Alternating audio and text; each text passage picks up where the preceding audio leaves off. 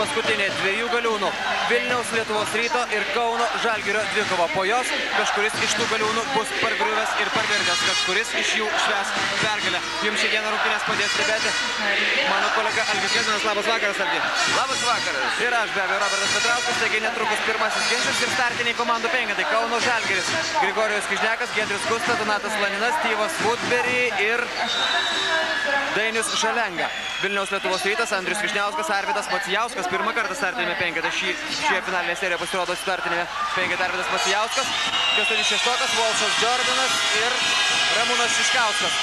Na ir prieš šias rungtynės Algi teko stebėti komandas. Galima turbūt daryti išvadą, jog abi yra šiek tiek susikaušusios tokiais akmeniniais veidais ir švininėmis kojomis. Be abejo, įtampa šiandien labai stipriai jaučiasi. Taip, šitas šiandieną jaučiasi stipriau negu prieš bet kurias kitas e, praėjusias rungtynės. Ir tą dar kartą patvirtina pirmoji Kauno Žalgerio klaida. Lygoje vietoje pametė kamerą Vidainis Šalenga ir dabar Vilniečio atsakymas. Na šiandien galima sakyti lems psichologinis nusteikimas, fizinis pasirinkimas ir aišku asmenybės. Kęstutis Šeštokas nepavyksta pataikyti labai sunkaus metimo prieš Grigorijų Kižneką.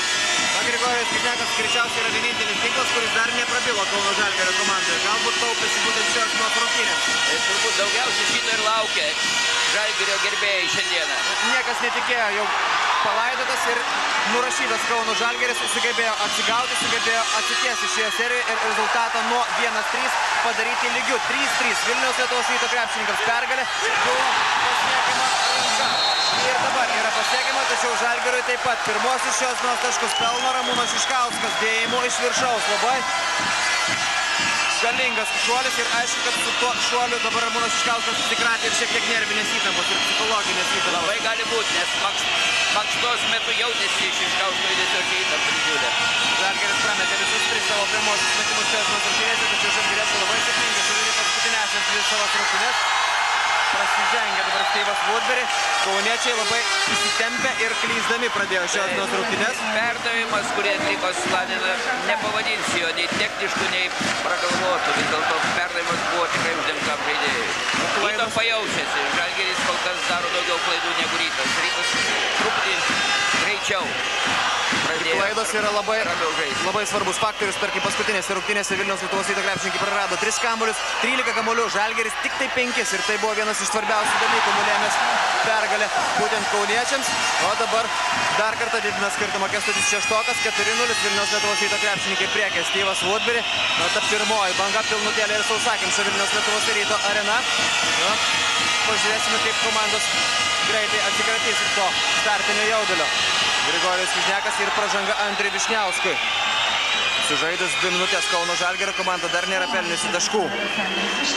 Ir nelabai rezultatyviai rungtyniavo jų varžovai. Praėjusias rungtynėse Vilniaus Lietuvos ryto krepšininkai pelnė tik tai 62 taškus. Pasiekė savo antirekordą šį sezoną. Tiek mažai jie dar nebuvo įmetę. Nei šioje finalinėje serijoje, reguliariame Woodbury sezone. dengiamas visai kitaip negu Kaune. Taip, Woodberis buvo vienas iš šių krepšininkų, Šiškauskas, bet kurie... ir artimiausias Šiškausko kaimynas. Lietuvos rytų komandai visą laiką stengiasi padėti laikyti. Woodberry labai gyrė abu, abiejų komandų treneriai, būtent Woodberis buvo išskirtas ir Jono Kozlausko ir Algirdo Brazio. Be abejonės jis to nusipelnė. Ne tik e, rezultatyvių žaidimų ir aukštų procentų, bet taip pat ir gerų rungtynių vadovavimų. Šeštoko taškai ir 6-0 Vilniaus Lietuvos ryto komanda priekė. Algirdas įdomi Brazys detalė. prašo minutės per trukį. Do tris kartus Vilniečiai neprarado nei vieno kamulio. Taip, e, įdomi detalė.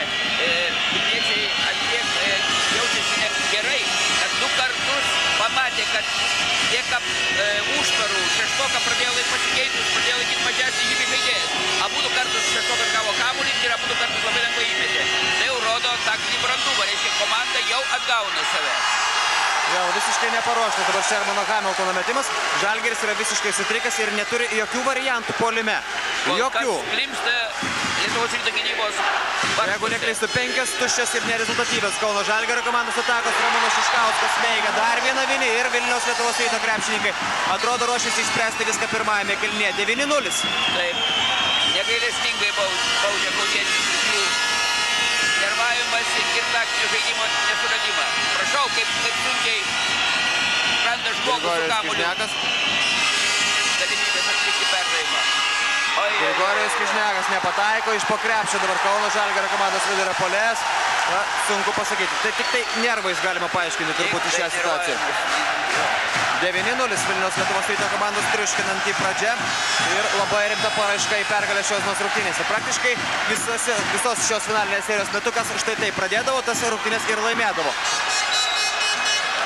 Vilniečiams Atiduoda kamuolį dabar rungtynio arbitrai. Keturios sekundės dar lieka Vilniaus Lietuvos ryto komandos atakai. Algirdas Brazys buvo jūsų ekrane. Jo kolekcijoje septyni Lietuvos krepšinio lygos žiedai. Jeigu iškovota aštuntai, galima jų būtų pavadinti šios lygos žiedų valdovo. Ramūnas Šiškauskas.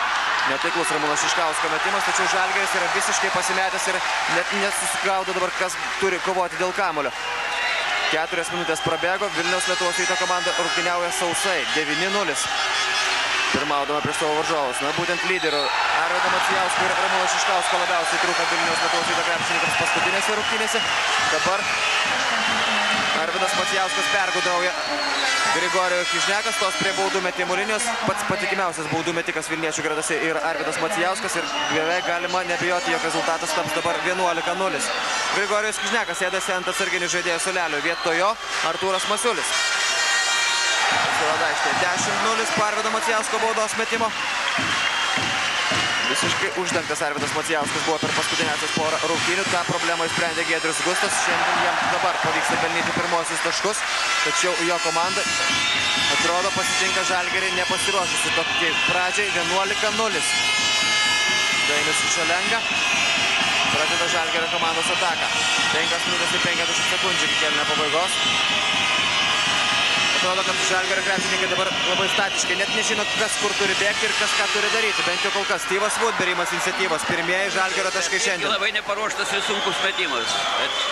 Styvas Woodberry turi sugebėjimą pataikyti tokius bet metimus. šiandieną jis yra dengiamas nepaprastai stipriai ir ko gero startas e, kauniečių vis dėlto ir nepavyko, nes Woodberry negali nei pažaisti, nei skirstyti kamuolius ir ves rungtynės. Vilniečiai labai neblogai sprendžia klausimą Woodberry. Arvidas Macijauskas labai sudėtingas metimas ir kamuolys atitenka Vilniaus, ne, Kauno Žalgerio komandai, nepatenkinti tuo Vilniaus Lietuvos ryto komandos gerbėjai. 11-2, jų komanda priekia 9 taškais ir tą pranašumą sugebėjo Vilniečiai susikrauti per pirmasis penkias šios rungtynių minutės.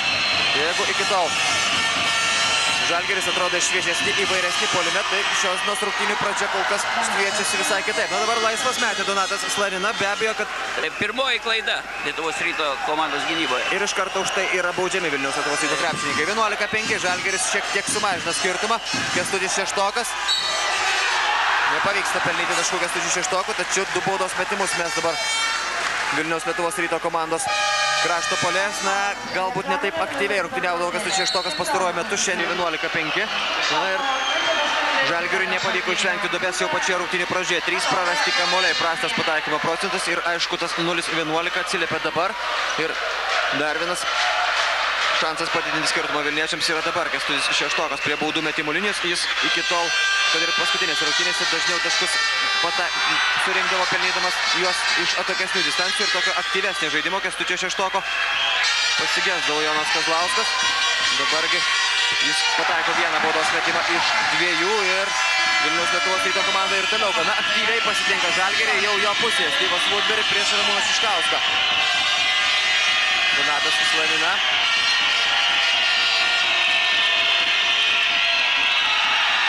Prasižengė Kęstutis Šeštokas. Kaip jam bus įrašyta ši pražanga, nesuspėjo. Štai kaip pasikausė dabar Vilniaus Lietuvos ryto komandos ir gali buvo jūsų ekrane. Su švilpukais, su tais aparatais, kuriuos dažniausiai gerbėjai nešasi į futbolo arenas. Yra sukeliamas didžiulis triukšmas, didžiulis šurmulys ir aišku, kad didžioji jo banga yra nukreipta prieš Kauno Žalgerį. Na, tiesa, Žalgeriečius taip pat šiandien čia palaiko maždaug apie 50 žmonių ir fanų brigada. Ir jie bando dabar atgaivinti savo komandos nuotaiką. 12-5 Vilniaus Lietuvos ryto krepšininkai priekė. Donatas Slaninas, Styvas Woodberry negauna kamulio, beveik neturi tam galimybių. Perima kamulio Valsas Zornas ir nepavyksta pelnyti taškų. Tiesiog čia pat situacija pataiso dabar. Rimantas Kaukėnas, be nestabiliausiai rungtyniaujantis paskutinėsias tris rungtynės Vilniaus Lietuvos ryto komandoje. Žalgeris ir toliau klinsta labai klampioje Vilniaus Lietuvos ryto gynyboje. Taip, bet daro labai elementarias klaidas. Tas dvi dienas, kada Žalgiris šventė pergalės, tokių klaidų nebuvo. Aišku, trys dienas labai gerai žais, net ir labai gerai komandai, labai sunku. Dar kartą prasižengia dabar Donatas Slaninas, stabdydama, stabdydamas įsibėgėjusią Vilniaus Lietuvos ryto komandos ataką. Kol kas Žalgerio komandoje nematyti jokių prošvaišių. Dabar jau Vilniaus Lietuvos rytas diktuoja sąlygas. Ir kaip dažnai keičiasi situacija šioje finalinėje serijoje, jeigu po trečiosios Vilniaus Lietuvos ryto pergalės visi jau spėjo palaidoti. Žalgeris sakė, jog viskas aišku, Vilniečiai iškovos LKL čempionų žydus ir nepatirs jokių problemų ir jokių sunkumų. Tai po to žalgiriečiai tas prognozijas paneigė, laimėjo dvi rungtynės iš eilės ir išlygino serijos rezultatą. Tada jau buvo kalbama, jog dabar psichologinis pranašumas Kauno žalgirio pusėje, jog namų aikštelės faktorius neveikia, tačiau šiandien mes matome, jog psichologiškai šiandien geriau rungtynės pradėjo ir greičiau su nervais susitvarkė Vilniaus Lietuvos ryto komanda ir tą padėjo jiems padaryti taip pat ir sirgaliai. Štai taip labai labai triukšmingai palaikantis ekipą. Taip, šiandien sirgaliai serga labai aktyviai. Ir pažiūrėsime, ar Kauno žalgirio pavyks atsitiesti ne tik tai šioje serijoje, bet ir štai šiose rungtynėse, kuriuose knockdownas rungtynių pradžioje yra labai skaudus. 17, tai yra 16-5 Vilniaus Lietuvos ryto vėl 11 taškų pranašumas, likus žaisti 3 minutės ir 40 sekundžių iki kelnio pabaigos. Visai rungtynės neįsijungia šalenda. O jis turėtų būti dabar aktyvesnis, nes Slavina ir Woodberry labai gerai gaudo Lietuvos ryto gynybą. O Šalenda kol kas labai pasyvus, galėtų būti aktyvesnis. Aš sakyčiau, kad Woodberry galbūt ir be, reikalo, nepaisant šio pataikymo, be reikalo tiek daug įmas ant savęs, reikėtų išnaudoti tos žaidėjus, kuriuos netaip aktyviai dengia. Reikėtų truputį ilgiau pažaisti, ką jie darė dvi paskutinės rungtynės. Vidaginevičius dabar pabandys išleisti Algirdas Brasys, galbūt taip jam pavyks pagyvinti Kauno Žalgirio komandos žaidimą polime. Ir taip žiūrint į Vilnius Lietuvos ryto gynybą, atrodo, kad Vilniečiai labai daug jėgų atiduoda besigindami dabar. Nepataiko Kęstutis Šeštokas, atkovojo kamuolį Arturas Masiulis. Ar E, gali būti, kad e, rungtynių antroje pusėje Vilniečių gynyba net šiek tiek susilpnės, nebus tiek daug jėgų? Atvirai pasakius, mane Vilniečių gynyba žavi, todėl kad labai gerai ir konkrečiai yra išspręstos visos kauniečių stipriosios pusės polime. Tačiau ar jie pavargs, aš galvoju ne, kadangi treneris Kazlauskas labai gerai atlieka keitimus. E, Kas liečia keitimus, tiesiog matematiškai tiksliai duoda kiekvienam žaidėjui pailsėti. Šermanas Hamiltonas pataiko paskutinę ataką skirtą laiko sekundę 16-9 ir vienas rodiklis Vilniečiai laimi kovą dėl šokusių kamuolių. 7-3 Žalgiris prarado keturis kamuolius Vilnius nei vieno. Ir Žalgiriečiai padarė tiek pat klaidų beveik tiek pat klaidų kiek per visas praėjusias rungtynes. Na ir būtent tos klaidos ir leidžia dabar Vilnius Lietuvos ryto krepšininkas pirmauti 7 taškais. Tiesa Žalgiris pelnė 4 taškus iš eilės vėl labai lengvai pranerė po krepšio Arvidas Macijauskas. Daug kritikos. Ginevičiaus gynyba Macijauskas iš karto suprato ir atliko tai, ko jis negalėjo iki šiol atlikti. Čia jūs galite siūsti trumpuoju numeriu 1330 rinkdami naudingiausią šios nesaptynių žaidėją. Praėjusią mačą naudingiausių krepšininkų buvo šitas Steve'as Woodbury be konkurencijos. Artūro Masiulio metimas netaiklus, vėl nusima kamuolį Vilnius Lietuvos ryto komanda, Arvidas Macijauskas. Rimantas Kaukėnas ir pražanga pačiam Rimantui Kaukėnui, kuris atsitrenkia dabar į Steve'ą Woodbury. 18-9 Vilniaus Lietuvos ryto komanda. Pirmauja šios nesaptynės Romaldas Brazauskas ir Kęstutis Filipauskas teisėjauja joms. Minutė ir 47 sekundės iki kelnio pabaigos. Ir vėl Vilnius Kauno Žalgirio komandos ataka. Vidas Ginevičius pastarasis porą rungtynių praleido ant atsarginių žaidėjų solelio, stebėdamas, kaip gražiai ir sėkmingai rungtyniauja Giedrius Gustas. Hamiltonas taip pat. Vienas iš krepšininkų, kuris jau dabar gali kur kas labiau pasikeitė Algirdas Bardys. Styvas Woodbury, koks sudėtingas jo metimas prieš Andrių Šležą. Nepataiko Styvas Woodbury. Ir dabar Vilniaus Lietuvos ryto komandos atsakymas. Na, artėjant į pabaigą šiandien galima konstatuoti, jog Vilniečiai šiandien kol kas atrodo labai rimtai nusiteikę laimėti šį sezoną Lietuvos krepšinio lygoje. Taip, ir žaidžia, pasakyčiau, ir logiškai, ir labai protingai, ir polime, ir gynyboje. Dar įdomus toks dalykas, Vilniečių centro pozicijoje žaidžiantis žaidėjas, Jeptokas.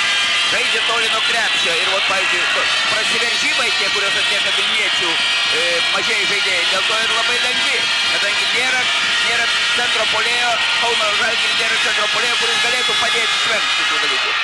Tai dabar pavyksta pelnyti pirmosius taškus Kauno Žalgerio komandos vidurio polėjų. Tai buvo Artūras Masiulis. Tai yra pozicija, kurią Žalgeris nuolat yra raginamas išnaudoti ir kurios nepavyks Bet prašau išnaudoti. dar kartą pažiūrėkit, kur randasi Jevtokas. Bando išvesti Artūrą Masiulį. Taip, išveda iš pokrepšio ir po to labai lengvai sekasi jiems prasiveršti. Volšas Dornas, dabar pats meta Volšas Dornas ir dar vienas patinis taiklus. 22-11, na tas 11 taškų pranašumas, kurį įgyjo Vilniečiai per pirmasias penkias minutės, taip ir sugebėjo išlaikyti visą šį kelnį. Šermanas Hamiltonas trūksta laiko, viskas nebeužteko. Laiko Kauno Žalgiriui perlaikė kamuolį Šermanas Hamiltonas, tai pirmąjį kelnį 11 taškų persvarą laimi Vilniaus Lietuvos rytą. Grįžtame Vilniaus Lietuvos ryto arenai, kurią labai greitai, net neprabėgus dviems minutėms, parėjo abiejų komandų penketai. Grįžo į Kauno Žalgirio ekipą Grigorijos Kižnekas, vėl nesėkmingai pradėjęs rungtynės. Ir pažiūrėsim, kaip klostysis antrasis kėlinys. Pirmasis 22-11 Vilniaus Lietuvos ryto naudų. Net Jonas Kazlauskas jūsų kamuose prieš šias rungtynės gražiai. Vienas kitą pasveikino abiejų komandų treneriai su šypsenomis akise ir veiduose.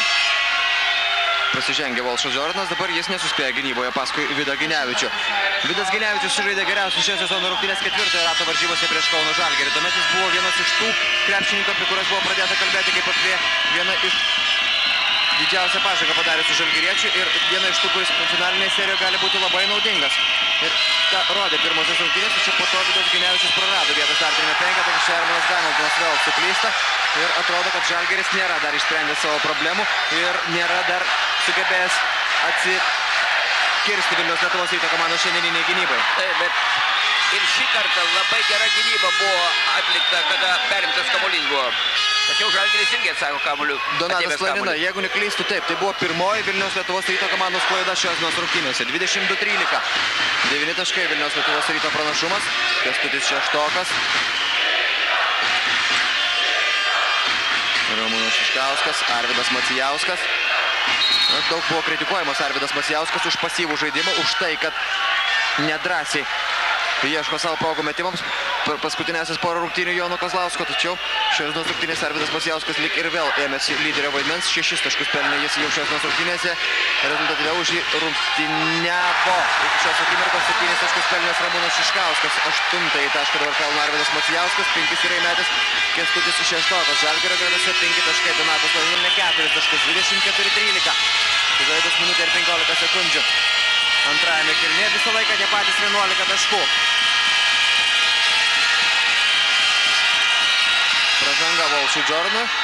Volšo Jordano ir Shermano Hamiltono dvikova akivaizdžiai yra kauniečio naudai pastaruoju metu. Taip, kol kas paskutinės rungtynės tikrai kaunietis parodė, kad jis irgi gali žaisti netgi sunkiomis rungtynėmis. 24-13. Shermanas Hamiltonas. Atiduoda kamulio Grigorijos Kižniakui ir sužingsniuoja Grigorijos Kižniakas. Dabar toks yra rungtynių arbitro sprendimas. Sunku pasakyti. Net iš pakartojimo turbūt negalima būtų įsitikinti visų šimtų procentų, kaip ten iš tikrųjų buvo. Nepaisant to, kamuolys jau Vilniaus Lietuvos ryto komandos rankose ir faktas tas, kad Grigorijos Kižniakas ir toliau miega ir toliau nieko negali padaryti. O dabar laisvas metai ir pataiko Kestutis Šeštokas. 27-13. Vilniaus Lietuvos ryto komanda įgyja didžiausią 14 taškų pranašumą. Dainis Šalenga. Du taškai skaityti. Atsitrinkė dabar. Vidas Ginevičius Kestutį šeštoką, tačiau atrodo nepažeidamas taisyklių. 27-15. 7 minutės ir 50 sekundžių. Kestutis Marčiulionis Vilniečių gretose. Gynyboje labai daug klaidų. O prašau, visą laiką laisvo žaidėjas meta. Jau trečią ataką. Vienas žaidėjas kauniečių keičiasi, kitas nesikeičia prie užtvarų. Tai jau grubi klaida. Ir aišku, Žalgirio minutės per traukėlę. 7 minutės ir 30 sekundžių lieka iki kėlinio pabaigos. Dar vienas perdavimas Grigorijos Kižniakui ir po truputėlį Žalgiris galbūt jau pradeda daugiau kamuolių atiduoti savo vidurio polėjai. Taip, galų gale pamatė ir atliko be klaidų. O Grigorijos Kižniakas gali tapti savotiškų gelbėjimosi net ne šiaudų, o rastų, jeigu pradėtų žaisti. Pats Vilnius Lietuvos ryto krepšininkas dabar pažeidžia taisyklės, blogai užtvarą pastatė Andrius Vyšniauskas. Toks yra Romaldo Brazauskas Be sprendimas. abejonės absoliučiai teisingas teisėjo sprendimas ir čia ginčytis negalima. Tiesiog nukirto kauniečiai. Paskutinę akimirką tik pamatėme, kaip ten buvo, jau paskutinioji šio susidūrimo stadija. Artūras Jeptokas pasirodo aikštelėje ir Andriu Višniauskui tai buvo antroji asmeninė pražanga šiandien. 30-17. Vidas Ginevičius.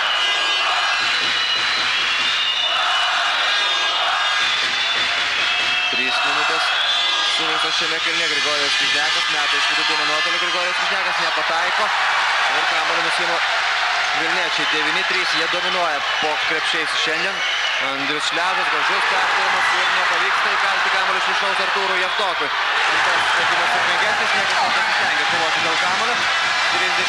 O kur 32-17. Kišnekas tuo momentu? Dvi atakos iš po krepšio, Kišnekas 5 metrai. Laukia, laukia perdavimo jau po kitų krepšio. Taip negalima gynyboje žaisti. Vėl Grigorijos Kryžnekas gauna kamuolį. Ir gerų kamolių gauna Atrodo, kad-.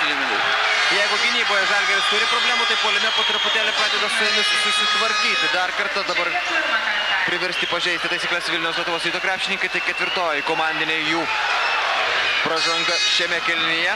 Jame prabėgo tik 3,5 minutės. Styvas Woodbury, vėl Grigorijos Kryžnekas, prieš Artūrą Jatoką.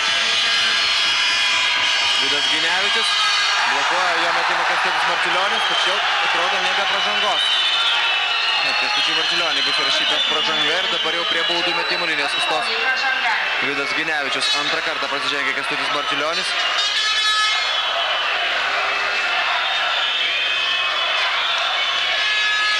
Vidas Ginevičius šiandien dar nėra pelnęs taškų, šiandien dar nėra metęs. Iš pirmojo metimo pataiko Vidas Ginevičius 32-18.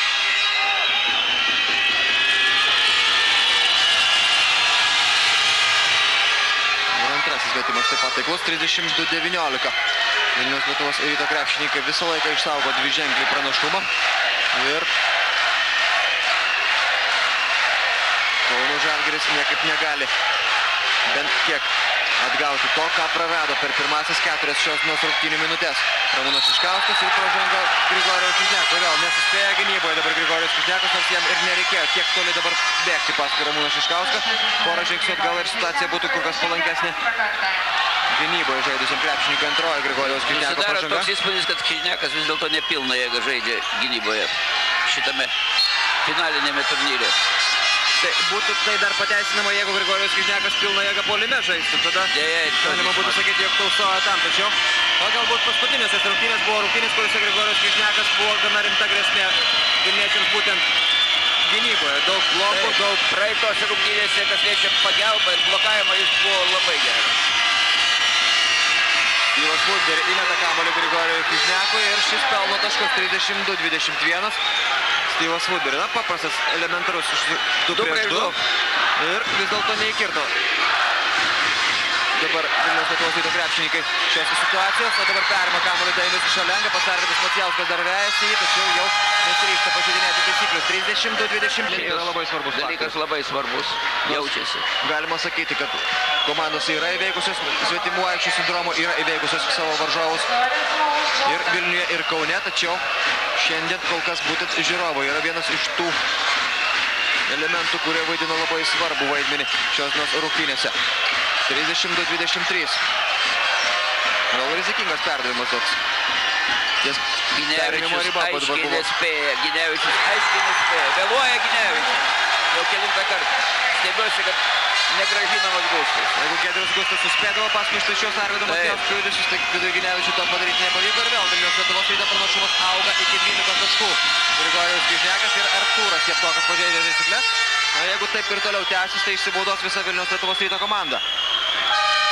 Prie baudų metimų linijos sustos dabar Grigorijus Kižnekas, Rimantas Kaukėnas grįžta į aikštę, le- leidžia palsėsti Ramūnui Šiškauskui ir vietoje Artūro Jeftoko aikštelė Andrius Višniauskas.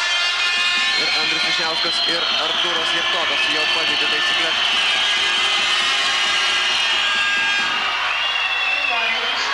Bent po kartą. Andrius Višniausko sąskaitoje dvi pražangos, Artūro Jeftoko viena. Vienas iš patikinesnių baudų metikų visoje Lietuvos krepšinio lygoje, dabar sumeta abu baudos metimus ir skirtumas mažėja iki 10, 35-25. Volčas Jordanas vėl vietoj Kęstučio Marčiulionio vadovauja Vilniaus Lietuvos ryto komandos veiksmams. Rimantas Kaukėnas vėl, Arvidas Macijauskas ir vėl akimirką temelavo Vidas Tai, Ginevičius tai ir ką aš sakiau, vis ryškiai vėluoja, o labai gerai naudojasi šitais dalykais. Auksinė Arvido Macijausko rankelė atrodo. Šiandien gali būti labai reikalinga Vilniaus Lietuvos ryto krepšininkams. 14 taškų. Tai abu taiklus toliniai metimai. Šiandien Arvido Macijausko sąskaitoje. Jeigu šis krepšininkas įsibėgėja, jį po to sustabdyti būna labai sunku. Styvas Woodbury Gražiai dabar bandė atiduoti kamuolį Grigorijos. Ir atidavė labai gražiai, bet Kišnekas pražiopsojo, nepagavo. Nu, tiesa, labai žemas perdavimas, beveik į kelius. Taip, nepatogus, bet vis tiek žaidėjas patyręs turi gaudyti ir tokį kamuolį. Staigus ir gražus perdavimas. Kaip tiksliai suveikė Jono Kazlausko paprašytą minutės per rokėlę. Trys taškai. Į varžovų krepšį apsiginta prie savo ir dabar galimybė dar kartą padidinti skirtumą. Rimantas Kaukėnas. Netaiklus Rimanto Kaukėno metimas, Andrius Šležas nuima kamuolį vėl. Visiškai paleido į laisvą, paliko neblokuojamą. Vėl Rimantas Kaukėnas, Arvidas Matijauskas. Ilgai negalvojęs metą. Nepataiko, tačiau priverčia prasižengti dabar Donatas Lanina Arvidas Macijauskas. Ne, Vidas Ginevičius vėl nesuspėja paskui savo ginamą ir Šermanas Hamiltonas pasirodo vietoj Vido Ginevičius vėl aikštelėje. Tačiau negustas, nu nesuprantama. Praeitose rungtynėse taip puikiai jis pasirodė. Gynyboje ypatingai. Čia turbūt tik Algirdas Brazys gali paaiškinti visą šią Nu, be situaciją. abejonės, kad priežastys yra, kad taip elgiamas. 30, tai yra jau 40-25 ir jeigu Vilnius Lietuvos rytas komanda praėjusios rungtynėse pelnė tik tai 62 taškus, tai likus žaisti 3 minutės su pusė iki šio kelnio pabaigos. Vilniečiai jau yra surinkę 40 taškų. Grigorijus Kižnekas imasi iniciatyvos, jis jau tapo rezultatyviausiu Kauno Žalgirio komanda. jis jau pradeda 8 taškus. įsižaisti ir pajuto žaidimo skonį. Ir tai aišku apsunkins Vilniečių komandos gynybinės pastangas, kurios puikiai suveikia per pirmasis šios rungtynės minutės. Rimantas Kaukėnas.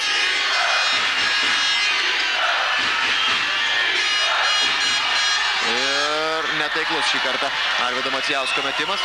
Grigorijus Kižnekas nuima kamuolį, 3 minutės lieka kelio pabaigos. Donatas Slanina laisvas iš 3 taškų zonos pataiko. Donatas Slaninas šiandien jis meta 100 procentų. 2 tritaškai ir vienintelis Dabar dvitaškis. Slanina perėmė Macijausko gynybą. Labai įdomu, ar pasiseks, nes vi- visą laiką antram kilnys, ką nori, tą daro Macijauskas. Ir va čia pagrindinis pralaimėjimo, žalgirio pagrindinio pralaimėjimo priežastis.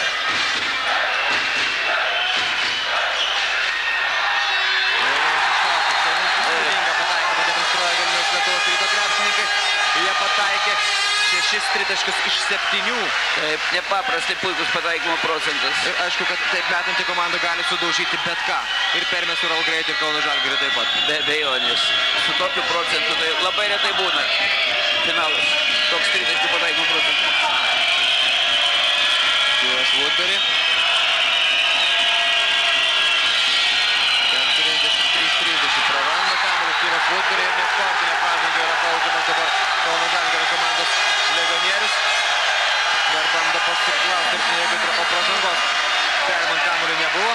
Tos prie baudų metimų dabar Ramūnas Šiškauskas įmes du baudos metimus ir dar Vilniaus Lietuvos ryto komandai Kaunas rankose bus kamuolys. Atrodo, kad šiandien mes prarasime galimybę paskutinį kartą tikėtis atkaklios kovos iki rungtynių pabaigos. Nu, būtų labai gaila. Paskutinės rungtynės turėtų būti atkaklius. Nu, gal antroji rungtynių pusė pasikeis. Žalgirio gyny- gynyba ir Žalgirio polime sumažės klaidų skaičius, kuris kol kas yra labai neleistinas. 45-30, 15 taškų Vilniaus Lietuvos ryto pranašumas akivaizdi aikštelės šeimininkų persvara. Ir kol kas nematyti, per kurią vietą galėtų bandyti gelbėtis dabar Žalgiris. Na, galbūt puolime Grigorijos Kižnekas, pelnė savo 8 taškus. Jaunis Šalenga pamuša kamuolį. Tęsia šią ataką Rimantas Kaukėnas. Ramūnas Šiškauskas, 8 sekundės atakai, Walšas Jordanas. Daug perdavimų ir galų galę suklysta Vilniaus Lietuvos ryto krepšininkai. Dairis Šalenga pelno du lengvus taškus 45-32. Stabdo rungtynių laiką arbitrai. Reikia pašalinti nežinomos kilmės daiktus iš aikštelės. Čia jau atrodo Žalgirio komandos fanai persistengia, stebėdami šias rungtynės. Štai dar kartą Dainius Šalengos pasivaržimas. Nugarą niekaip negalėjo apsiginti dabar Ramūnas Šiškauskas. Minutė 50 sekundžių iki kelnio pabaigos.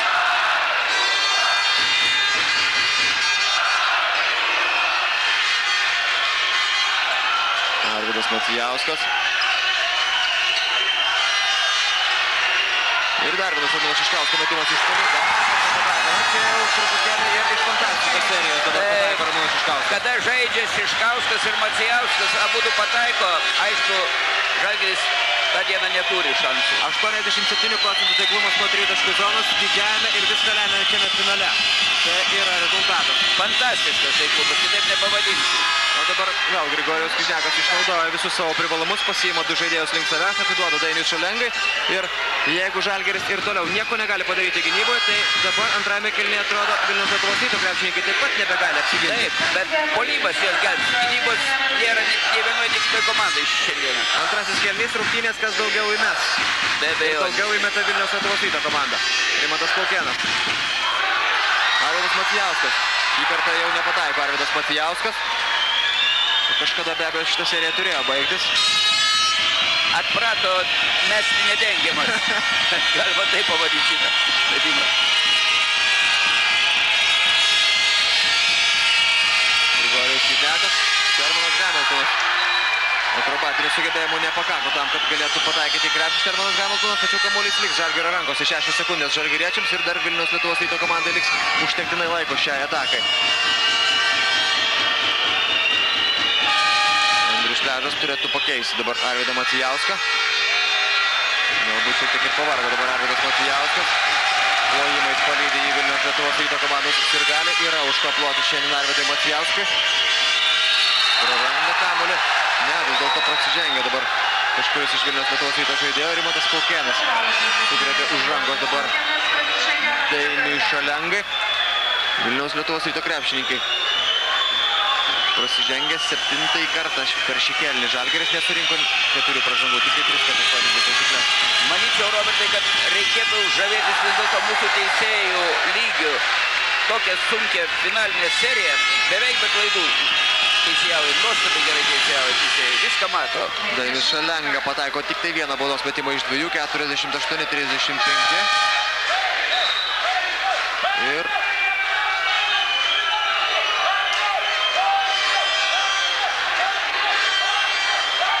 užsitęsė ši situacija, reikėjo pataisyti tinklelį, galų galia pavyko tą padaryti Romaldui Brazauskui.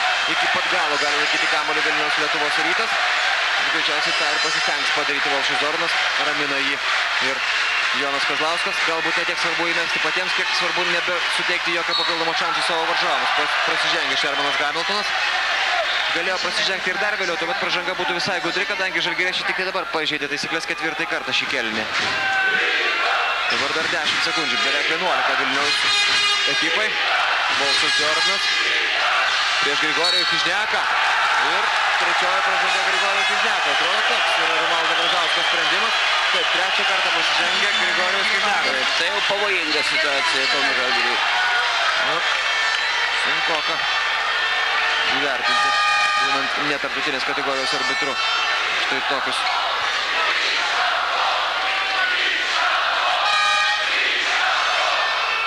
Susidūrimus aikštelėje Valšas Jordanas prieš Grigorijų Kižneką ir mažasis dabar buvo viršesnis. Jeigu, aišku, pataikys abu šios metimus, vieną prameta. Šešios sekundės iki kelnio pabaigos. Ir po to didžioji perduoda.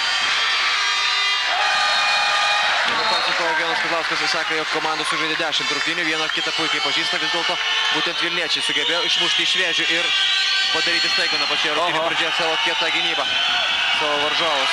Denis Šalenga, netaiklus metimas ir baigėsi šis kelnys. 49-35, na nepaisant visų Vilnius Lietuvos ryto pastangų, per antrą kelnį jiems pavyko padidinti persvarą tik tai dviem taškais. Taigi galbūt Žalgeriui pavykus sustabdyti šį labai galingai važiuojantį traukinį, pavyks jį ir atstumti šiek tiek atgal. Ar taip atsitiks, pamatysime, gal laimėjęs Žalgeris. Taip, taip, bet po čia pagal tą pajėgumą Ir štai jūsų ekranuose pataikymo procentas nuo 3 taškų zonos 7, 3 taškai iš 10. Fantastika.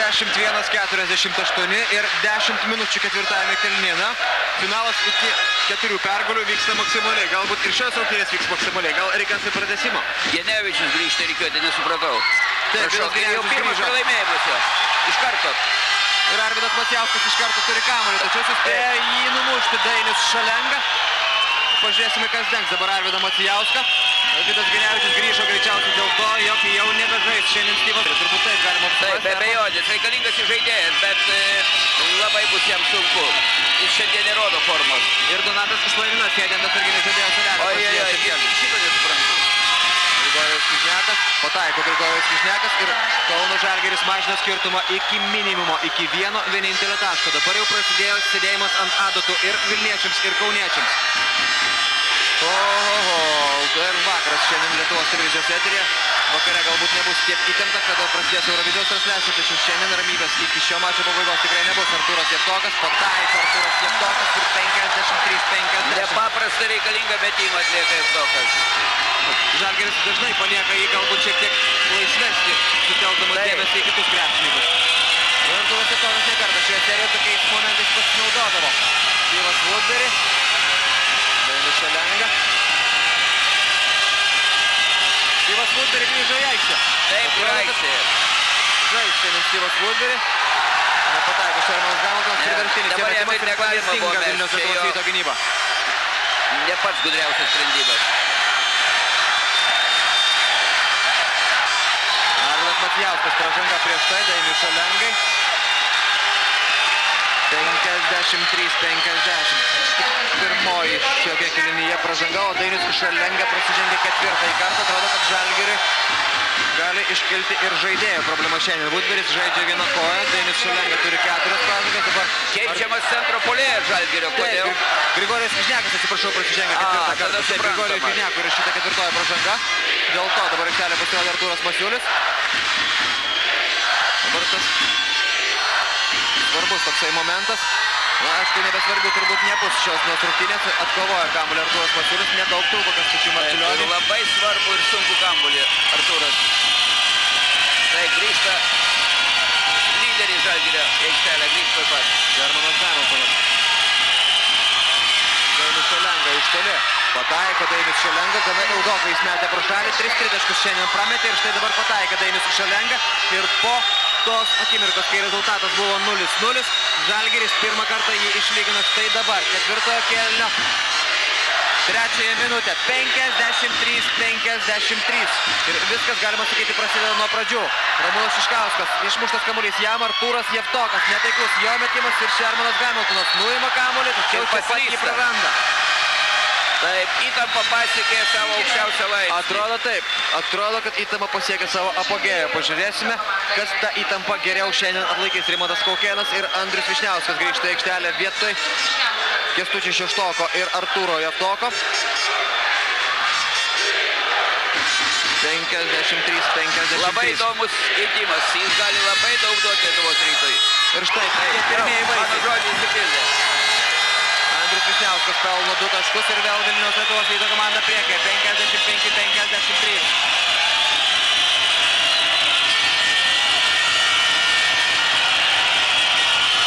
Vyras Vuteris. Dainius Šelenga. Ir pažanga Arvidui Matijauskui. Pastebėjo dabar Kastutis Kulipauskas gudri tokį kepštelimą. labai gerai, stebėtinai gerai. Iš esmės tokiuose rungtynėse net mažytė klaidelė gali net rungtynių arbitrų netaip įvertinti situaciją gali nulemti rungtynių baigtį. Todėl aišku rungtynių arbitrai ir Romanas Zazauskas ir Kastutis Kulipauskas dabar kiek įmanoma labiau susikoncentravę stebi kiekvieną momentą ir dabar nepataiko baudos metimo Dainis Šalenga. Tai reiškia, jog Vilniaus Lietuvos ryto krepšininkai išsaugos bent jau kokį pranašumą. Dviejų taškų, abu baudos metimus pameta Dainis Šalenga. Didelis smūgis Žalgirio psichologijai bus. Dar didesnis, jeigu dabar Vilniečiams pavyks užbaigti šią ataką. Meta Arvidas Macijauskas, puikus jo metimas nuo trijų taškų zonos. Vilniaus Lietuvos ryto komanda vėl atitrūksta 58-53. Suklupo šiek tiek Šermanas Hamiltonas ir trečią kartą tos klaidos jau Arvidas Macijauskas nedovanojo. Vaikai atiduotas perdavimas po krepšikėse nepavyksta pelnyti Artūrui Masiuliui taškų dabar. Jis stos prie baudų metimų linijos. Pažiūrėsim, kaip Artūras Masiulis susitvarkys su nervais nuo šios pozicijos. Vietoj Dainiaus Šalengos aikštelėje Donatas Slanina, o vietoj Andriaus Višniausko, kuris pelnė du taškus, vėl grįžta į aikštelę Artūras Jevtokas. 58-53, 6 minutės ir 50 sekundžių iki kelnio pabaigos.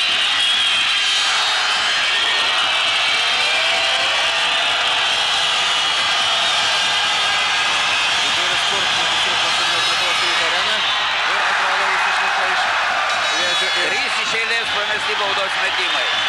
Tai reiškia, kad dabar skirtumas galėjo būti tik tai du taškai, o yra penki. Ir ir dar Ket- kartą Keturi iš prameta. eilės baudos Masiulis, metimai. tačiau Styvas Woodbury atkovoja kamuolį. Geriau jau Vilniečiams turbūt būtų pasisekę, jeigu būtų pataikęs šį metimą Artūras Masiulis. Na, gali būti, jog Vilniaus Lietuvos ryto komanda apsigins ir nuo šios Žalgirio atakos. Pažiūrėsim. Donatas Tonina prašo užtvaros. Styvas Woodbury. Pro galinę liniją ir Rimantas Kaukėnas pažeidė taisyklės. Praleido dabar Styvą Woodbury ir tai buvo trečioji Vilniaus Lietuvos ryto komandinė pražanga šiame kiltelė. Iš ekranos tai ir vėl Vilniaus Lietuvos ryto pranašumas dėl atkovotų kamolių. Tiesa to pranašumo, kad ir tarkim paskutinės rungtynėse Kaune nepakako Vilniečiams tam, kad jie laimėtų rungtynės. Žalgiris Pirmą kartą Žalgirį žaidžia keturiais mažais žaidėjais, bet taip ir yra. Įdomu, ką šitas eksperimentas duos. Arba Vos vos suspėjo Gelvis bus išmesti kamuolį dabar per 5 sekundės. Artūras Masiulis prieš Artūrą Jatoką suklaidino, tačiau taškų pavyk, nepavyksta pelnyti ginčas. Romualdas Brazauskas fiksuoja ginčą ir Kęstutis Marčiulionis pasiima kamuolį dėl viso pikto. Pavyzdinga Vilnius Lietuvos ryto komandos gynyba. Nebuvo kam išmesti kamuolio ir nebuvo kam jo atiduoti Artūrui Mas- Artūrui Masiuliui, tuomet jis jau turėjo aikštelėje. Tačiau šeštokas sėdasi ant suolelio, Andrius Ležas pasirodo aikštelėje. Dabar momentas, kuomet Vilniečiai vėl gali spurtuoti. Jiems pavyko pelnyti penkis iš eilės taškus, pavyko vėl peržiūrėti rezultatą savo naudai. Pažiūrėsim, kaip toliau klostosi ši situacija per artimiausias minutės šiandien. Dar jų labai daug, šešios su pusė iki ketvirtojo kelnio pabaigos. Atkovoja kamuolį Artūras Masiulis ir nauja Žalgirio ataka. Styvas Woodbury. Gražus perdavimas Artūrui Masiulis, šis atrodo nesitikėjo jo. Donatas Planina meta iš toli, nepataiko. Šermanas Gamiltonas dabar E, susijima kamuolį po žodžiu. Dėl šaukinių kamuolių Žalgirio puikiai atlikta. Kova šiandien pirmoji tokia per visą finalinę seriją. Kaip ir buvo galima prognozuoti. Paskutinėse rungtynėse nėra žaidėjų ir nėra komandų, kurios pasiduoda dar net nuskambėjus sirenai. Prasižengia Artūras Masiulis. Žalgiriui nepavyko pelnyti taškų. Žalgiris prametė visus keturis baudos metimus ir Žalgiris nesėkmingai suorganizavo tris paskutinės savo atakas. Grigorijus Kiznekas grįžta aikštelę, pasikalba dar su Artūru Jatoku. Turbūt ne apie labai mielus dalykus. Artūras Jatokas atrodo turi kažkokių nuospaudų ir pretenzijų Artūrui Masiuliui. Na, po to galima aišku tas vis nuospaudas ir išsiaiškinti, tačiau jau už aikštelės ribų, o dabar laimi tik tai tie, kurie daugiau pataiko. Arvidas Macijauskas, netaiklus metimas, Grigorijus Kižnekas iššoka aukščiausiai už visus ir ketvirtoji Vilniaus Lietuvos ryto komandinė pražanga Andrius Šležas pažeidžia taisyklės. Vilniečiai greitai surinko keturias pražangas, tai reiškia, jog visos kitos jos bus baudžiamos jau baudų metimais. Netyčia dabar Andrius Šležas atsitrenkė į Grigorijus Kižneką. Ir pražanga įrašyta. Donatas Lanina, Lyvas Woodbury, Gustas, gauna kažkokį Martulionį, tačiau pataikyti nepavyksta Giedriui Gustui. Pradeda drebėti rankas Kauno Žalgirio komandos krepšininkas. Taip, jaučiasi ryškiai. Pravestos Ilgametis- baudos, nepataikyti porą metimų. Ilgametis krepšinio komentatorius Vladas Janiūnas buvo jūsų ekranas, jis šiandien komentuoja rungtynės mobiliojo te- telefonu dienai Kauno radio stočiai. Susidomėjimas šiomis rungtynėmis be abejo yra toks didelis, kad galima ne tik jas pasižiūrėti, bet ir pasiklausyti jų garsu perdodamo reportažo. Giedrius Gustas. Labai gražus prasiveržimas, tačiau metimas netaiklus ir tai reiškia, jog iš to grožio naudos jokios. 58-53. Žalgiris negali pelnyti taškų. Vilniaus Lietuvos rytas taip pat kurį laiką sustojo, tačiau jie turi geresnę situaciją. Jie turi penkis taškus. Kęstutis Marčiulionis pražangų nėra, taškų taip pat. Atkovojo kamuolį Vilniečiai ir nauja pozicinė Vilniaus Lietuvos ryto ataka. Lygos trebėjas kompanija Omnitel, o taip pat rėmėjų sąraše prekybos tinklas Rimi ir informacijos kompanija GlaxoSmithKline 58-53 rytas, rytas skanduoja Vilniuje. Šioje tribūnoje sėdintis ir gali be abejo kitokias skanduotės, skanduotės ir kitokius įsakymus dabar lėja Kauno Žalgirio komandos gerbėjai, kurių didžioji dalis, aišku, stebi šias rungtynės būtent per Lietuvos televiziją, priglūdę prie savo ekranų. Šiandien dar ne viskas aišku, šiandien dar 4,5 minutės iki kelio pabaigos, tačiau Vilniečiai turi 5 taškų persvarą ir kamuolį savo rankose.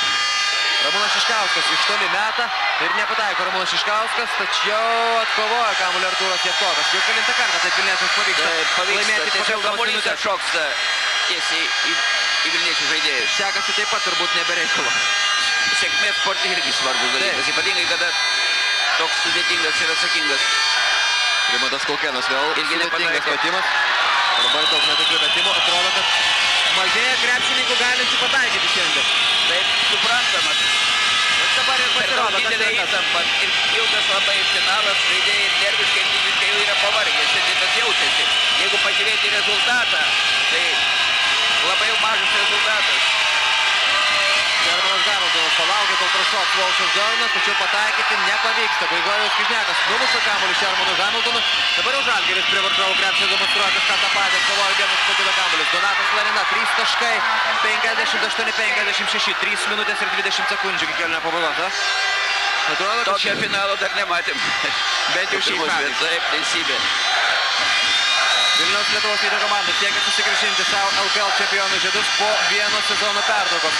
Kauno Žalgiris siekia apginti čempionų titulą ir kaip dažniausiai būna, apginti yra sunkiau negu atimti. Taip, ką reiškia? Denis Šalenga guli ant Taip. Antras žaidėjas Kauno Grindų. Žalgirio išeina iš rikiuotės. Vis dėlto, kada žaidži septyniese, labai sunku. Jūs manot, kad tos traumos yra fizinio Be abejonės, tai to ilgo maratono. Atrodo, sutraukė raumenį dabar Rezultatas. Šalenga. Štai jisai lygiai vietoje paprašė minutės per traukėlio rungtynių arbitro. Sutraukė koją. Na, toks... Labai retai tenka matyti, tarp jų krepšinio varžybose. Futbole dažniau tai atsitinka. Taip. Jautėsi jau prieš rungtynės kalbėjimo apie tai, kad Žalgiris sužaidęs puikiai dvi išeilės rungtynės ir nugalėjęs Lietuvos rytą, pakiliai žaidžiantį.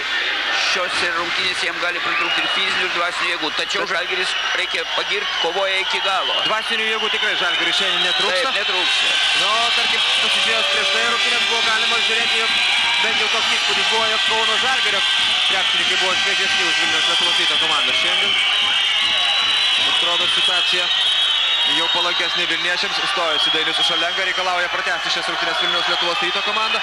Sunku pasakyti, kam ši pertrauka naudingesnė. Žalgiriečiai prieš tai pataikė tritaškį, sumažino skirtumą iki dviejų. Negali tęsti rungtynių bent jau kol kas Dainius Šalenga šiandien. Jis pelnė 14 taškų, tiek pat kiek ir Grigorijus Kižnekas. 18 metė Donatas Slanina Vilniaus Lietuvos ryto komandoje. 20 taškų Ramūno Šiškausko sąskaitoje, 19 Arvido Macijausko lyderiai šiandien. Kaip matote, išsiskiria. Šiandien jau nėra taip, kad rungtyniautų visa komanda ir visi pataikytų. Meta lyderiai. Ir juos galima suskaičiuoti ant vienos rankos pirštų. Arvidas Macijauskas tarp jų, tačiau šį kartą jam nepavyksta pataikyti. Ir Kišnekas nesugeba paimti kamulio. Taip, šiandien kova iki paskutinės akimirkos dėl kiekvieno kamulio, dėl kiekvieno aikštelės centimetro. 10 sekundžių ir Vilniečio atakai. Volšas Jordanas. Artūro Tok atiduotas kamuolys, prasižengia Grigorijus Kižnekas. Taip, Grigorijus Kižnekas prasižengia penktąjį kartą šios rungtynėse. Žalgirio komandai jis padėti šiandien jau nebegalės. 14 taškų pelnė Grigorijus Kižnekas. Aikštelėje pasirodo Artūras Masiulis. Dabar visa Žalgirio viltis tik tai į jį. Ir keičiasi krepšininkai iš karto atsakymas Vilniaus Lietuvos ryto komandoje. Vietoj Artūro Jevtoko aikštelėje Andrius Višniauskas ir Ramūnas Šiškauskas taip pat prašo leidimo grįžti į aikštę. Jis keičia Andrius Tai Šnežą. Labai teisingas ir savalaikis Šiškausko gražinimas, nes Jonas Kazlauskas keičia šiandien žaidėjus panašiai kaip ledo rytulyje, vos tik tai tam galimybę. Tas kokia klaida Žalgirio komandos gynyboje, Arvidas Matijauskas, du taškai. paprastai ir labai efektingai. 60-56 štai. Gendrius Gustas paleido Arvidą Matijauską. Pražiopsoja, tiesiog nelaukit labai saugai. Starto. Ir labai jau kita Andrius Višniausko pražanga, net negalėjo pakelti ranko aukštyn. Artūras Masiulis, supykęs dabar Andrius Višniauskas kabinasi jam ant rankų, gaus dabar Vilnių nuo Jono Kazlausko, o Andriui Višniauskui tai taip pat yra penktoji pražanga. Na, atrodo, Taip. kad pirmieji nuostoliai šiandien jau matyti. Įdomu, kas būtų, jeigu šios rungtynėse būtų pratęsimas. Nu, teisybė, būtų labai įdomi situacija. Žiūrovams, Tada ir- būtų išnaudoti visi resursai, visi įmanomi komandai. žiūrovams ir televizijos nepaprastai įdomu, jeigu dar būtų pridėtinė penki minutė. Artūras Masiulis. Pataiko pirmąjį baudos metimą, nors prieš tai du buvo prametęs. Ir antrasis Ir abu pat tikras. Dabar jau pirmo, Masiulis. pirmo reikėjo taiklaus metimo Finale to kelius kartus jau vis dėlto jisai parodė, save gražiai parodė. praėjusios rungtynės jis sugebėjo atkovoti net septynis kamuolius kartas nuo karto pakeisdamas Grigorijų Kryžneką. 60-58. Ramūnas Šiškauskas. Kiekviena ataka, kiekviena klaida arba pataikymas gali būti lemtingi. Artūras Jevtokas pelno 2 taškus 62-58. Labai Vilniaus geras Lietuvos Šiškausko perdavimas. Traukia abejonės. žaidėjus ir duoda pasą. Paprasta, tikslu. Dabar Vilniečiai yra nepasiekiami per vieną taiklų metimą. Žalgirio reikia ne tik pelnyti taškus, bet ir dar apsiginti. Donatai Slaninai išprūsta kamuolys iš rankų ir Vilniečiai turi labai gerą šansą. Turi labai didelį šansą, minutės per daugėlės prašo Žalgirio komanda. Į ją dabar jau turės grįžtame į Vilniaus Lietuvos ryto areną, kurioje pergalės nuojauta. Minutė ir 35 sekundės iki kėlinio pabaigos. Vilniaus Lietuvos ryto krepšininkai turi iniciatyvą savo rankose. Keturis taškus ir kamuolį. Kaip puikiai gynėsi Gustas prieš Paciauskas. Ir vis tiek Arvidas tiek turi kamuolį, nepataiko iš toli ir Arvidui Macijauskui skiria pražangą dabar Romualdas Brazauskas. Du baudos metimai iš karto į Vilniaus Lietuvos ryto krepšį. Labai būtų įdomu pasižiūrėti šio epizodo pakartojimą. Galbūt, žiūrėkime dar kartą, štai. Arvidas Matijauskas gauna kamuolį. Giedrius Gustas jo neliečia. Ir toliau situacija jau nėra matoma. Na, galbūt čia ta pati situacija, apie kurią jūs kalbėjote, Algi, apie tas provokacijas. Galėjo būti kažkas panašaus. bandė provokuoti, kaip jis Pataiko Giedrius Gustas po baudų metimų linijos. Jeigu Žalgiris ieškos priežasčių savo pralaimėjimo po rungtynių, jeigu pralaimės, aišku, jie. Viena priežasčių gali būti netaikus baudų metimai. Nu, Jau dabar jau reikėtų presinguoti. ne- penkis baudos metimus pra, prametė Žalgiriečiai Prametė. šiame kelnyje. Taip, tai yra, bus lemiamas, jeigu pralaimės. Kitaip tariant, jeigu būtų sumetę, dabar būtų pirmavę dviem taškais. Be abejo. jeigu būtų, nesiskaito. Minutė ir 8 sekundės iki kelnio pabaigos. Vilniečiams štai dabar reikia rezultatyvios atakos. Ramūnas Šiškauskas, Arvidas Macijauskas. Jo metimas taiklus, Arvidas Macijauskas. Ir dabar jau yra pergalės metimas. Dabar jau praktiškai beveik neįmanoma. Atrodo, kad Macijauskas taps tuo krepšininku, kurį reikės išnešti į ant rankų po šių rungtynių, jeigu Vilniečiai jas laimės. Ir Arviną Macijauską, o Miguel Romigel ekstrabonentai pripažino naudingiausių šių rungtynių žaidėjų. Tai iš esmės reiškia, jog jis naudingiausias ir šios serijos krepšininkas. Styvas Woodbury, du taškai, 64-61. Na, užtenka dabar Vilniaus rytį suklysti ir Žalgiris turėtų vėl šansą. Taip, ir nemažą. Nu, tiesa, tada Žalgiriui reikėtų teiviškai, tačiau visų pirma pažiūrėkime, kaip baigsis Lietuvos ryto ataka. Arvidas Macijauskas naudingiausias žaidėjas trijose rungtynėse iš septyniarių. Šioje finalinėje serijoje prasižengęs Steivas Woodbury, tiesa, baudų metimai nebus metami. Tai tik didžiulė nauda. e, Vilniaus Lietuvos ryto komandai. Dabar dabar jie vėl galės laimėti. būti ir į tą pusę, ir į tą pusę. Be abejonės. Vilniečiams šiandien pasisekė. Ir jie jau yra per slenkstį, per vieną mažą yra visai netoli pergalės. Liko labai nedaug. Pažiūrėsim, tačiau tą pergalę reikia iškovoti. Šermanas Hamiltonas ir prasižengė prieš Ramūną Šiškauską. Tai pats spėjai sprendimą, kokį priims. Aš manau, kad Žalgiris. greičiausiai nesirinko dabar iš krepšininkų žalgiriečiai. Prasižengė prieš pirmąjį gavusi kamulį, o Vilnius Lietuvos rytas greičiausiai pasirinko kam atiduoti kamulį. Kad, Be abejo, nes pasirinko tam žaidėjui, kurio galima labai pasitikėti. ir aišku, kad krepšininkas yra Ramūnas Šiškauskas. Vilnius Pakevičius pataiko Ramūnas Šiškauskas nuo baudų metimo linijos. Taip, čia net olimpiada, kada Šiškauskas jaunas nesuvaldė savo emocijų. Abudu. Ir abu metimus sumeta Ramūnas Šiškauskas. Žalgiriui reikia staigaus ir taiklaus metimo. Giedrius Gustas. Artūras Masiulis kala kamuolį iš viršaus, 66-63. Iš esmės situacija nepasikeitė, tik tai praėjo 7 sekundės. Dabar Rimantas Kaukėnas prie baudų metimų linijos. Labai laiku subaudavo Žalgiris. Jeigu vieną prameta, vėl atsiranda tam tikrų... Bet lieka tik 15 sekundžių. Jeigu žalgiriečiai dabar būtų pataikę 3 taškus, tuomet situacija būtų kitokia. Tada žalgiriui reikėtų 3 taškų. Dabar jau Vilniaus Lietuvos ryto komandai reikia tik tai vieno taiklaus metimo ir jie iš esmės jau laimėtų šias rungtynės. Pataiko Rimantas Kaukėnas. Dramatiškas finalas, kurio finišas jau prie pat, visiškai prie pat. Vilniaus Lietuvos ryto komanda be Roberto Jaftoko pačioje finalinės serijos pabaigoje. Buvo, atrodo, šiek tiek stipresnė ir šiek tiek geriau pasiruošęs. Šermanas Hamiltonas iš toli. Taiklus Šermano Hamiltono metimas 10 sekundžių. Nespėja pažeisti taisyklių.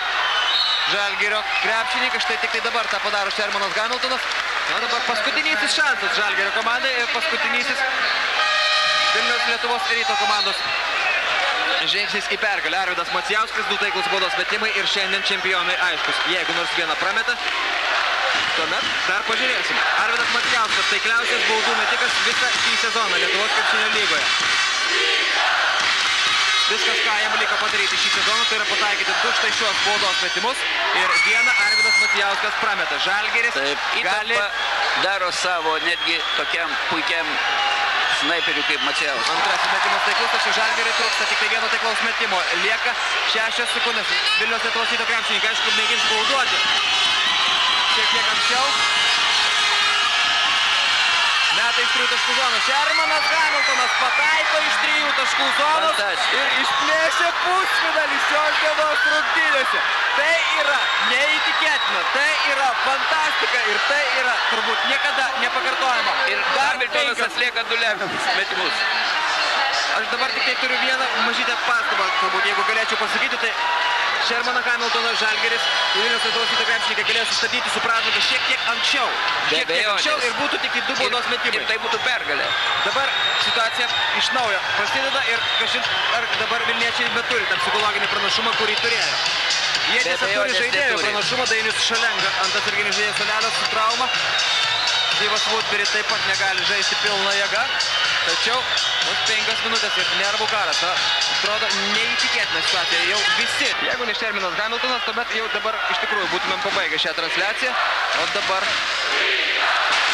dar vienas bandymas atsakyti klausimą, kas šiandien yra stipresni. Penkios papildomo laiko minutės.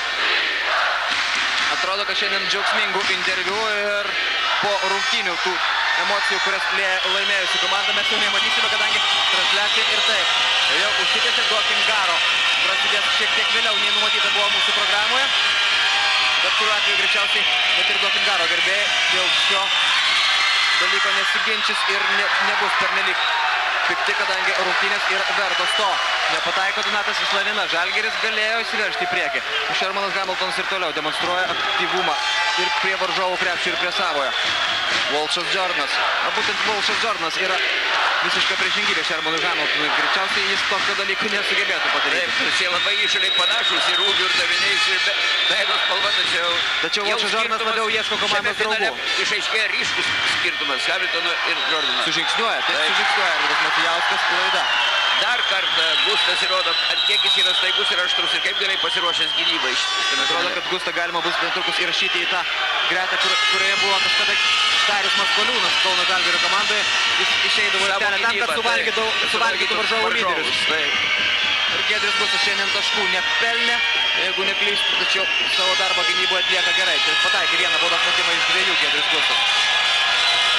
69-69, Šermanas Hamiltonas, prieš jį Arvidas Matijauskas. Andrius, tai yra Artūras Masiulis. 8 sekundės Žalgirio atakai, Šermanas Hamiltonas. Artūras Masiulis nelaukia šio perdavimo ir praranda kamuolį dabar Kauno Žalgirio komandos. Kovoja jį Artūras Masiulis. Ir Rimantas Kaukėnas nuramina savo ekipą. Dabar jau įtampa, kada kiekvienas taškas turi nepaprastai didžiulę vertę. Iš tikrųjų slegia abiejų komandų krepšininkų pečius. Ramūnas Šiškauskas, Artūras Jevtokas, du taškai ir kala kamuolį iš viršaus Artūras Šeštokas. Artūras Jevtokas. Ir Vilniečiai įsiveržia į priekį. Šio pratęsimo metu. Dažniausiai pratęsimo metu kažkuri komanda pabėga ir sportuoja. Pažiūrėsim, ar šiandien pavyks tą padaryti. Dabar Du prieš du. Labai paprasta ir už, užteko treči, trečiam žaidėjui padėti ir to nebūtų įvykę, tačiau visiškai laisvas Masiulis buvo. Galbūt ir be reikalo dabar nuskubėjo prie Styvo Woodbury Artūras Jevtokas. Be abejonės. Prie pat tritaškio linijos dabar jis buvo atsidūręs. Meta Artūras Jevtokas ir nepataiko. Styvas Woodbury numuša kamuolį būtent jam. Artūras Jevtokas dar vienas metimas, dar vienas atkovotas kamuolys. Tačiau pasto Styvas Woodbury jį pagauna. Giedrius Gustas ir pražanga Arvidui Matijauskui. Aš dabar galėčiau tik tai pagirti Styvą Woodbury, kuris dar net kovojęs kamuolį, suspėjo pasižiūrėti į nubėgantį Giedrių Gustą ir po to vienu akies krašteliu atiduoti jam tą kamuolį. Nepaprastai laiku ir gražiai atliktas perdavimas ir puikiai greitoje ataka. Arvidas Matijauskas suspėjo pasivyti Giedrių Gustą ir tai yra bent jau mažytis laimėjimas. Dabar du Giedriaus Gusto baudos metimai. Jis šiandien pataikė tik tai vieną iš dviejų. Dabar pataiko Gedrius Gustas 72-71. Žalgiris pirmą kartą šios dienos rungtynėse išeina į priekį. Pirmą kartą per visą didįjį septintąjį superfinalo mačą Kauno Žalgirio komanda yra priekyje. Istorinis momentas šiandienos rungtynėse. Jeigu Žalgiriečiai sugebėjo atsitiesti, panaikinti 15 taškų Vilniaus Lietuvos ryto pranašumą, pažiūrėsime, ar persvara, kurią dabar turi Žalgiris, neišmuš iš vėžių Vilniaus Lietuvos ryto krepšininkų. Ramūnas Šiškauskas, put taškai ir pražanga Donatai Slaninai. 73-73. Vienas už kitą gražesni momentai. Ir tai buvo ketvirtoji Artūro Masiulio pražanga. Taip Artūras Masiulis pasižengė šios nusuktinėse ketvirtąjį kartą. Žalgiris gali prarasti ir paskutinį savo vidurio polėje. Laiko dar žaisti daug. Pataiko dabar metimą Ramūnas Iškauskas ir vėl priekyje Vilniaus Lietuvos rytas 74-73. Minutės ir 30 sekundžių iki kelnio pabaigos. Vylas Woodberry.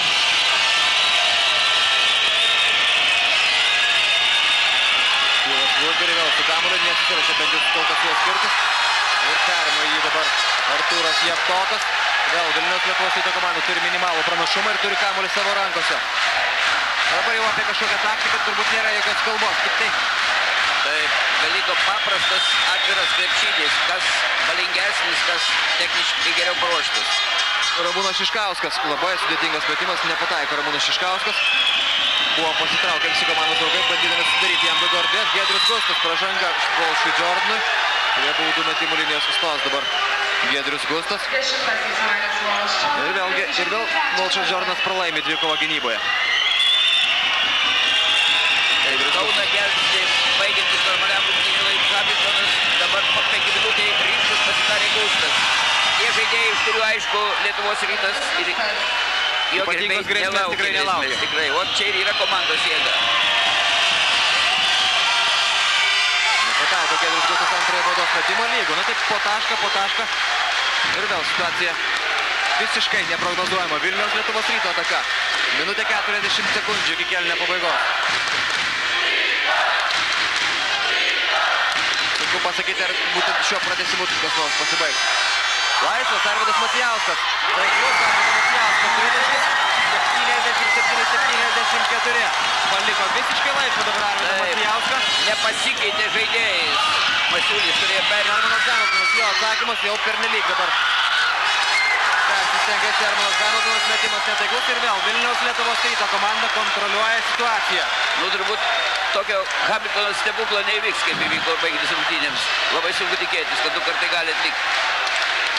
Ir tas atvejis buvo fantastinis. Ir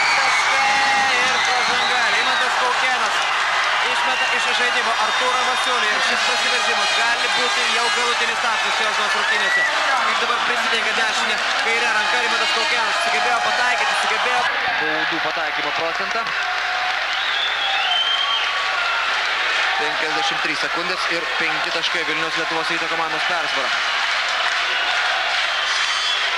Kartą nepataiko Rimantas Kaukėnas. Atrodo, kad čia jau ne nervai, o atsipalaidavimas galbūt šiek tiek. Nu, čia gali būti ir tas ir tas. Įtampa vis dėlto dar nepaisant persvaros Iš inercijos liko. Taip, labai. 80-74. Žalgirio atsakymas. Volšas, Šermanas Hamiltonas. Arvidas Taip, jau laikas jau jame prie pat jo. centro linijos. Pražanga buvo įrašyta prieš tai. Net nesigirdė rungtynių arbitrų sprendimų. Nei, negirdėjo nei Šermanas Hamiltonas, nei kiti. Publika šelsta, nu, suprantama. Šermanas Hamiltonas stoja prie baudų metimų linijos. Šermanas Hamiltonas, na? Gaila, kad Šermanui Hamiltonui nepavyko padėti Kauno Žalgiriui Eurolygoje, kuomet tos pagalbos labai labai reikėjo. Nu, atrodo, kad Vilniečių dėmesio, Žalgiris atsako centro polėjo aplamai. Dabar jau žaidžia Laba. Su tą atsilikimą būtent superfinalo serijoje sugebėjo superfinalą pakelti iki maksimalios įtampos atvesti į septintasias rungtynes. Ir atrodo, kad septintose rungtynėse šiek tiek stipresni ir šiek tiek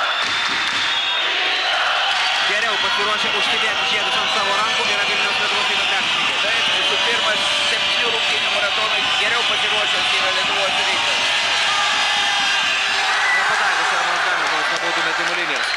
Na, atrodo, Netrukus žiedų matuotojai galės pradėti tekinti žiedus. Maždaug šešių ar penkių žiedų trūksta. Tai yra netitinka dydžiai tų žiedų, kurie yra skirti ir vienos ir kitos komandos žaidėjams, kadangi, aišku, niekas negalėjo prieš šias rungtynės iš anksto pasakyti, kas laimės. Eimantas Kaukėnas vėl stos prie baudų metimų linijos, tos nervingosios paskutinėsios minutės, tiek paskutiniai žingsniai šį sezoną. Na, sunku pasakyti, kaip bus kitą sezoną, tačiau jau dabar galima dėkoti ir Lietuvos užsienio lygos reglamentui, kad šiandien buvo žaidžiamas septintosios superfinalo rungtynės ir galima dėkoti turbūt Lietuvos krepšinio klubų rėmėjams ir tiems, kurie subūrė štai tokias dvi stiprios komandos Vilniaus Lietuvos Rytą ir Kauno Žalgirį. Jeigu komanda stipri būtų viena, tuomet aišku, kad susidomėjimas krepšiniu ir krepšinio lygis nebūtų toks aukštas kaip šiandien. Didysis maratonas finalinis, save pateisino pilnumoje. Donatas Lanina kala kamuolį iš viršaus. Na, daug galbūt pasikeitimų bus komandose, daug krepšininkų paliks Vilniečių gretas, galbūt daug žaidėjų nebežais Kauno Žalgirio komandoje. Svarbiausia, kad šios ekipos ir toliau liktų elitinėmis. Svarbiausia, Tai kad jos labai labai stiprios. svarbu, kad Žalgiris po šito pralaimėjimo nepadaryt, netaptų vidutinė komanda. Klubo vadovai, treneriai, žaidėjai padarys viską, kad Žalgiris kitais metais žaistų sėkmingiau. Juolab, kad Žalgiriečių laukia Eurolygos varžybos. Be Kitą ir, sezoną. ir ypatingai. Jordanas Hamiltonas prasižengė. Arvidas Matijauskas sustos prie baudų metimo linijos. Žalgirio jau atrodo nebeišgelbės pražangos, dabar jau reikia ir perimtų kamolių. Vien tik pražangomis žalgiriečiai vargu ar sugebės išsisukti iš šios situacijos, juolab, kad Arvidas Macijauskas greičiausiai dabar nepakartos tos klaidos, kurią padarė pajėgėtis ketvirtojo kelnių laikui Vilniaus Lietuvos ryto komanda dėkoja savo ekipai už pergalę, už žiedus, už visas smagias akimirkas, kurios buvo ir laukia žiūrovų štai čia Vilniaus Lietuvos ryto arenoje. Kauno Žalgirio komandos fanams turbūt belieka guostis tom, jog Žalgirio vyrai, kaip toje knygoje, kaip rašo, Žalgirio vyrai buvo tikrais vyrais šioje finalinėje serijoje. Tą reikia pripažinti, jie kovojo iki galo. Ir nepaisant pir, šiandieną pirmųjų kelinių labai prasto žaidimo, vis dėlto jie sugebėjo išlyginti žaidimą. Žalgirio komandos kamuolys, 7 taškai skiria ekipos, 27 sekundės skiria Vilniaus Lietuvos rytą nuo pergalės Dar šios rungtynės. mažai. Hamiltono visi ieško. Gal dar kartą Hamiltonas padarys stebuklą. Neranda. Šermanas Atsidegė. Hamiltonas, tik dabar gauna kamuolį. Ir nepataikė Šermanas Hamiltonas, atrodo tai yra galutinis. Kauno Žalgirio komandos pralaimėjimas, jau skekina vienas kitą Vilnius Lietuvos ryto komandos krepšininkai. Jau atrodo patikėjo savo pergalę ir Jonas Kazlauskas. Jis pirmą kartą laimi Lietuvos krepšinio lygos žiedą ir čempionų titulą vadovaudamas Vilniaus Lietuvos ryto komandai. Iki tol jis šešis kartus buvo laimėjęs, tai yra penkis kartus buvo laimėjęs Lietuvos krepšinio lygą su Kauno Žalgirio ekipa. Dabar tą ekipą ir savo buvusi asistentą Algirdą Brazį Jonas Kazlauskas vis dėlto pergudravo ir įrodė, Ir jog taip, ir neįpra, nepaprastai atkaklioja kovoja. ir įrodė, kad net praradus patį pagrindinį savo vidurio polėją Robertą Jevtoką, Vilniaus Lietuvos ryto komanda nesubliuško ir liko komanda. Komanda galinčia laimėti ir galinčia sugražinti pergalės į Vilnių. Būtent toks buvo šūkis šį sezoną Vilniečių klubo. Pergalės grįžta į Vilnių. Kauno Žalgirio komandai nepavyko to šūkio prasmės paneigti šios rungtynėse. Donatas Lanina prasižengė penktą kartą, jis nebijotinai buvo geriausias krepšininkas Žalgirio gretose. Šiandien pelnė 20 taškų, pataikė 4 tritaškius, žaidė naudingai, tačiau jo pastangų nepakako. Ir atrodo, vienam istoriniam išėjimui dabar Algirdas Brazys išleidžia savo sūnų. Mindaugas Brazys pasirodė pirmą kartą Kauno Žalgirio komandos gretose šioje finalinėje serijoje ir galbūt jis dar turės progą paliesti kamuolį. Kamuolį, kuris šiandien buvo Vilniaus Lietuvos ryto sėkmės talismanas. Algi, aš iš anksto jums dėkoju už tai, kad padėjote stebėti šis rungtynes. Nelengva be abejo buvo žiūrėti ir Kauno, ir Vilniaus komandų gerbėjams, tačiau kažkas turi laimėti, kažkas turi pralaimėti ir kažkas tos pergalės ir pralaimėjimus turi pakomentuoti. Taip, nu visumoj, nu, prieš rungtynės mes kalbėjom, kad lošti tris tokias rungtynės Žalgiriui, kaip kad išlošė praeitis, labai sunku. Aidi finalinis sirena, sveikinimai Vilniaus Lietuvos ryto komandai, visiems jos gerbėjams. rezultatu 86-78. Pergalę švenčia aikštelės šeimininkai, laimėdami seriją 4-3 ir štai taip, demonstruodami pergalės šokį. Sveikinimai visiems užuolta kauniečiams ir šiandien Lietuvos televizija baigia ir šį Lietuvos krepšinio lygos sezoną. Su jumis atsisveikina ir Anglis Gedinas ir aš, instrukcinės komentaras Robertas Petrauskas. Iki susimatymų kitais sezonais.